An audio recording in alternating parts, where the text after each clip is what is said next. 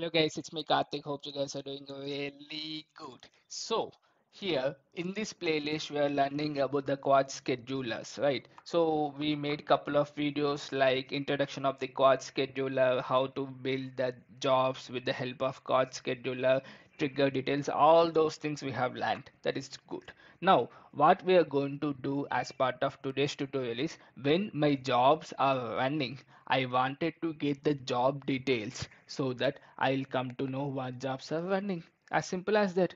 Cool, nice. So for that, I need to have a API. So I'm taking a get mapping here, something like get all jobs. I'm taking here and as of now let me keep it as a void method. In future i'm going to change it okay? So get all jobs. Okay. This is a endpoint is done. But there is no implementation right? Let's go to our main scheduler okay? You don't need to worry about anything guys. I'm going to put this in the uh, github somewhere here okay? So that you can easily verify okay? So now i have a scheduler right? So in the scheduler interface get all the methods here.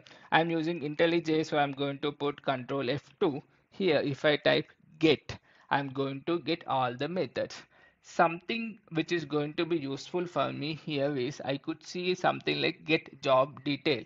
So it looks like it is going to return me a job detail of a specific job if I pass something called job key. That is okay fine. So I need this one right? Because I'm going to return all the job information. Cool. But how do I build the job keys here? If you come down a bit here if you see here get job keys method is returning me a set of job key that is cool right? This job key i will pass it to this in my for loop so that for every job i'll know the job details. That is what my implementation is going to be. That is cool nice. But here there is a one more like group matcher is there. What about this group matcher? What is this group matcher is going to do? Well we'll discuss about that here so uh, I mean that also okay. So in my common utils if you go here in the job details I have given something called group name. If you have not given by default it will take a default group name. If you have given that is taken as a group name okay. In your uh, overloaded identity method okay. Now you could see here this is a group name I given basically what is mean by this group name here? Okay so group name is nothing but I am going to categorize my jobs into certain groups so that for me it's going to be very easy. Let's say in your application you want some jobs to run uh, for every 5 10 minutes and the jobs are related to something called database and few other jobs are going to run every day end of the night where you know uh, it is going to identify if that person is having a birthday. If that person is having the birthday then trigger some you know birthday email. And that is i can categorize as a email category. And this database i can categorize as a database category. So for me it's easy to identify easy to use. So in that purpose i can have a group name. Okay nice. Now how it is going to be relevant this we'll see. So go to the main scheduler here and in your scheduler create a public. As of now keep it wide. Get all job details. Okay cool.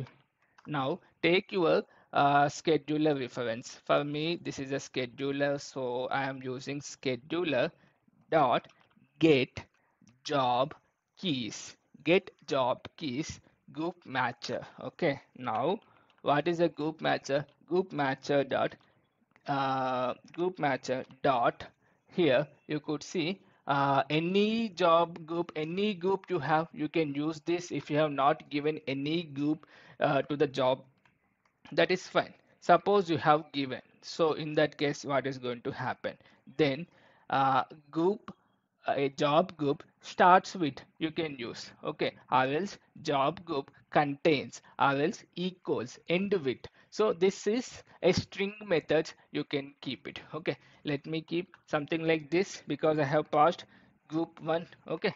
But most of the times if you are not passed it so let me keep something called any group okay. Cool nice. And even if you passed it no no need to worry. This any group will going to fetch all the groups. But the thing here is you need to put this in try catch because there could be a scheduler exception. Nice. Now this method is going to return me the set of job keys.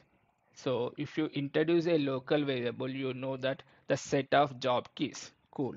Now let me iterate over this job key okay job key let's say job key of job keys. Okay there are so many job keys here. Yeah job keys. So i am now iterating over the job keys. So now i have a each and every individual job key. Cool. Now scheduler dot get job details and i am going to pass this job key over there so job key. Okay now this will return me the job detail object for the specific job. Right I have this job detail object. Now let me keep a list of job detail variable. Job detail let's say like job detail list is equal to new array list of the job detail now each and every time I have this job detail I can simply go and add it here. Uh, something like job detail dot add of. Instead of wasting one variable over there I can simply do something like this. Okay now the job data uh, job detail I have I'm adding it to the list and this list I'm going to return. So job detail list. Now it means this is my return type. Nice. Now this is my service. I need to hook this into my controller. Did I did that? Yes I have did this with the help of alas constructor. That object is going to be formed. Now this method I need. Which one? Get all job details. Method. Now this going to return me the list of job details now let's keep this way. Return type change it to list of job details. Now do this. That should be sufficient. Right. Now here from all the so whenever the Quartz scheduler is running it will run the jobs.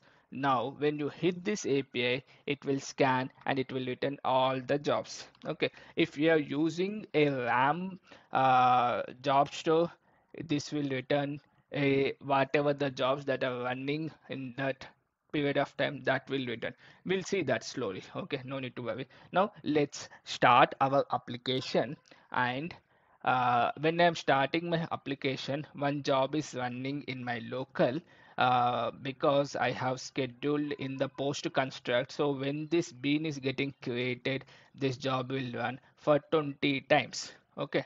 So when I'm doing that, I need to build my uh, postman endpoint. Yeah, this is my postman endpoint.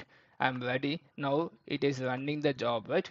Now hit on the send now you could see 404 not found why okay no issue uh, go to the controller get all jobs get all jobs uh, now nothing is uh, coming because this job is already executed. So nothing is coming. No issue. No all issue.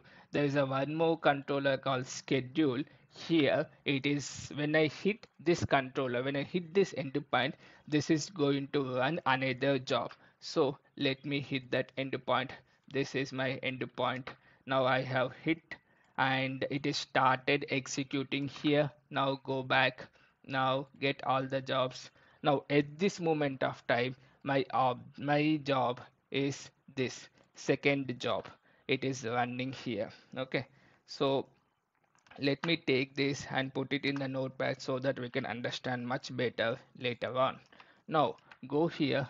It i think it is still running so i can hit i will get the same response again. Once it stopped execution okay once it stopped execution this will be gone. Nothing will be there. That is okay. That is good. Now come back to this object. Now if you see here this is the job details which is running. What is that? The name of the job is second job and the class name is this is the class name. And the data we are passing to that is this one. That means i am telling like don't run forever. And i'm telling the job to run for 20 times between interval of 1.5 seconds. And initial offset is 1 second. That means job will wait for 1 second before when you hit on run. And here the group name is grp1 cool. Other things are okay. Fine. No issue.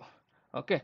Now this is when you are running this the scheduler in the ram without jdbc that is well and good. But in my case i am running in the uh, jdbc saved details. Okay. Now what i am doing is go to the uh, common utils I have this job details method. I am not storing that information here.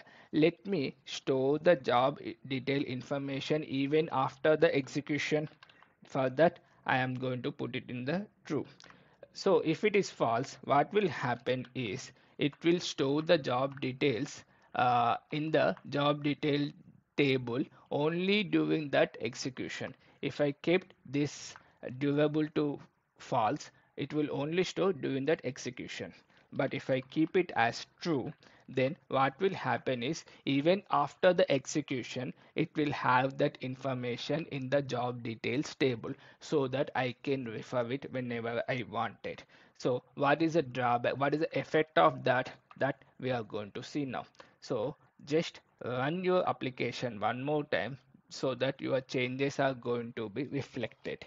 Okay so now you could see in the down the build is happening i hope you guys know how to connect your Quartz scheduling with a database okay i have explained in my other tutorial somewhere uh, here which will come in the uh, YouTube as well. As of now, I have not configured anything, so I have just shown you those. Now you could see application is up and running okay my scheduler is also started running. If i go here to the job detail table now you could see one job is there. Now if i hit all jobs one job will come. Cool nice. Now go here uh, to the endpoint now you see the first job is getting executed. Probably execution is completed now. Okay execution is completed now. But if i put this here the job details are still there right? If I execute this then the data is coming because it is configured to the database and it is fetching all the job entries here even though the job is not running there because of that property okay? Now I have one more endpoint right? Where I can schedule this second job right? So now you click on send. Now you click on all jobs. Now you should see two jobs. Two jobs are running. Second job is running and that entry will be presented in the database table. Now you could see this entry is presented. Okay. Now go to the output and see whether this execution is completed. Again this one also will get executed for 20 times. So if i uh, hit here two jobs will come. Even after the second job execution as well the two entries will come because the data being stored in the database table and is being fetched. And if you see here probably the execution is completed now. But here I'm getting all the data. Cool. Now what I will do is I will remove these entries from the table and show you that two entries are done and dusted. Now if I hit this I am going to get empty response. Yeah so I have covered two scenarios here with respect to getting the job details right? I hope this is not so confusing. I hope you might have understood something. Yeah thank you so much for watching. Thank you